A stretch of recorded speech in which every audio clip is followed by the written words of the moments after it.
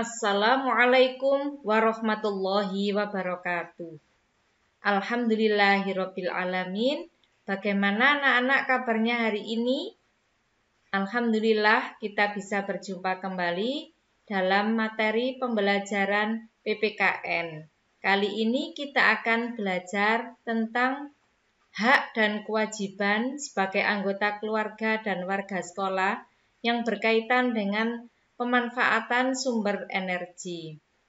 Di semester 1 kalian sudah belajar tentang hak dan kewajiban, tentang pengertian hak dan kewajiban. Oleh karena itu, eh, kali ini Ustazah tidak menjelaskan lagi apa pengertian hak dan kewajiban. Tetapi di sini sekali lagi materinya yaitu tentang hak dan kewajiban kita terhadap pemanfaatan sumber energi.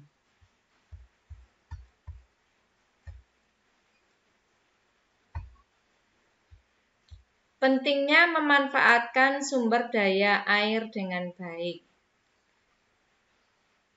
Sumber daya air adalah sebagai manfaatnya untuk pengairan dalam pertanian, Dua, sebagai pemenuhan kebutuhan rumah tangga. Tiga, sebagai sumber tenaga listrik. Empat, sebagai media kebersihan. Lima, membantu melestarikan sumber air bersih. Kewajiban menghemat energi untuk kelestarian lingkungan.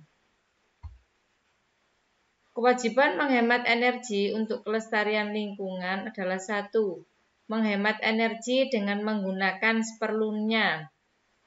Dua, memanfaatkan teknologi dan peralatan yang ramah lingkungan. Tiga, menjaga dan melestarikan alam untuk menjaga ketersediaan sumber energi. 4. Melakukan reboisasi untuk menjaga ketersediaan sumber air. Apa reboisasi itu? Reboisasi adalah penanaman kembali.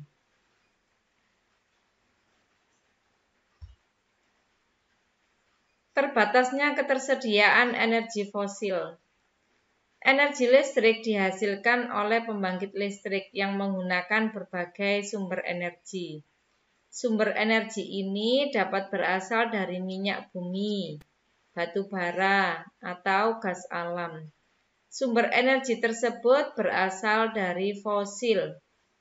Oleh karena itu, kita harus memenuhi kewajiban untuk menghemat sumber energi yang jumlahnya sangat terbatas. Hak-hak yang diperoleh setelah melaksanakan kewajiban menghemat energi, setelah kita melaksanakan kewajiban terhadap menghemat energi, maka kita berhak untuk mendapatkan apa? Satu, mendapat kebebasan dalam menggunakan energi. Dua, mendapat kemudahan dalam melakukan inovasi energi alternatif. Tiga, terpenuhinya kebutuhan akan berbagai jenis energi. Dan keempat, terhindar dari kelangkaan energi. Pentingnya menggunakan energi dengan benar. Sumber energi sangat membantu dalam memudahkan kehidupan manusia. Oleh karena itu, kita harus memanfaatkannya dengan baik dengan cara bagaimana? Satu, mematikan perangkat elektronik jika sudah tidak terpakai. Dua, menggunakan air dengan secukupnya. Empat, menggunakan perangkat rumah yang hemat daya listrik.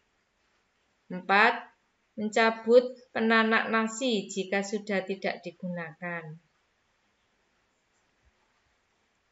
Kewajiban terhadap benda yang digunakan sehari-hari. Manfaatkanlah energi listrik dengan bijak. Bersikaplah bijak dalam menggunakannya. Dengan demikian, kalian telah menjalankan kewajiban kalian untuk menghemat energi listrik. Hak dan kewajiban dalam memanfaatkan energi. Sumber energi memberikan banyak manfaat. Adanya sumber daya energi dapat memudahkan kehidupan manusia. Dari hal tersebut tampak bahwa energi yang digunakan sangat membantu kehidupan manusia. Hak kita dalam memanfaatkan energi adalah memanfaatkan sumber energi di mana saja dan kapan saja. Kita juga berhak ikut mengelola sumber energi. Sedangkan kewajiban kita adalah menggunakan sumber energi dengan hemat. Dua, tidak membuang-buang energi dengan percuma. Dan ketiga, kita berkewajiban untuk menggunakan sumber energi sesuai fungsinya. Hak dan kewajiban menjaga ketersediaan energi. Sumber energi memberikan banyak manfaat. Adanya sumber daya energi dapat memudahkan kehidupan manusia. Dari hal tersebut, tampak bahwa energi yang digunakan sangat membantu kehidupan manusia. Oleh karena itu, kita punya kewajiban apa saja yaitu satu hak dan kewajiban menjaga ketersediaan energi. Sumber energi memberikan banyak manfaat. Adanya sumber daya energi dapat memudahkan kehidupan manusia. Dari hal tersebut tampak bahwa energi yang digunakan sangat membantu kehidupan manusia. Hak-hak apa saja yang kita peroleh eh, dalam menjaga ketersediaan energi ini. Satu yaitu berhak kita berhak mendapatkan kesempatan yang sama untuk dapat menggunakan suatu energi. Dua, menggunakan energi alternatif yang ramah lingkungan seperti energi angin. Tiga, menggunakan sumber energi sesuai fungsinya.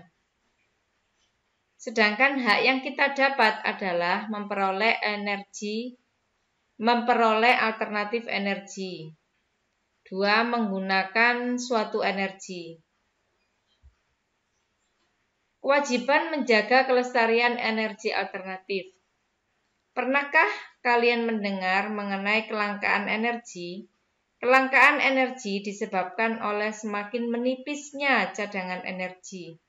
Oleh karena itu, digunakan energi alternatif yang berasal dari air, angin, matahari, biomasa, biodiesel, dan lain-lainnya. Kewajiban menjaga kebersihan lingkungan. Dengan cara bagaimana? Yaitu satu, membuang sampah pada tempat yang sudah disediakan. Dua, melakukan penutupan di sisi atas saluran air. 3. Melakukan sosialisasi dan himbauan berkaitan dengan menjaga kebersihan. 4. Kerja bakti membersihkan selokan.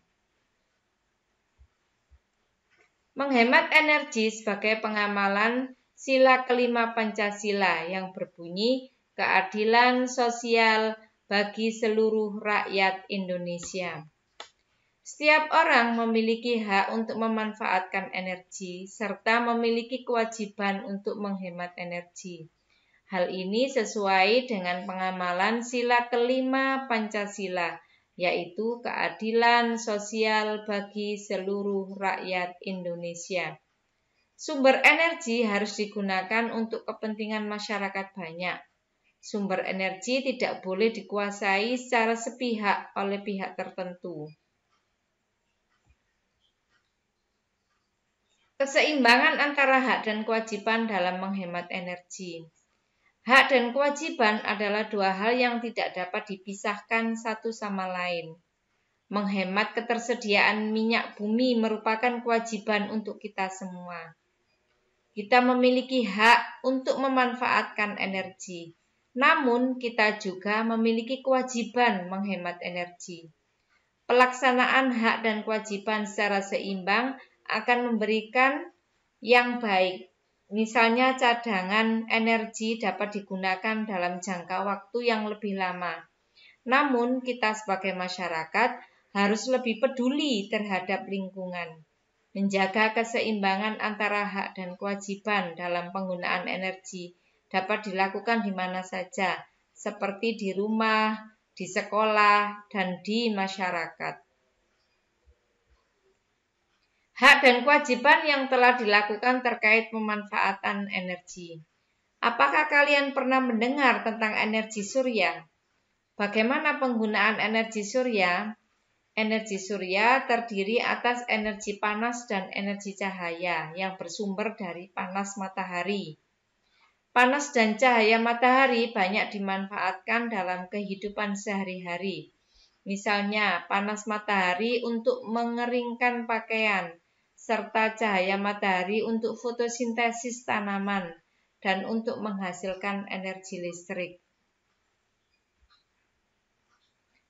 Pemanfaatan energi dan sumber energi. Energi listrik dimanfaatkan untuk apa? Menyalakan kipas angin, menyetrika pakaian, menyalakan mesin cuci, menyalakan kulkas, dan lain sebagainya.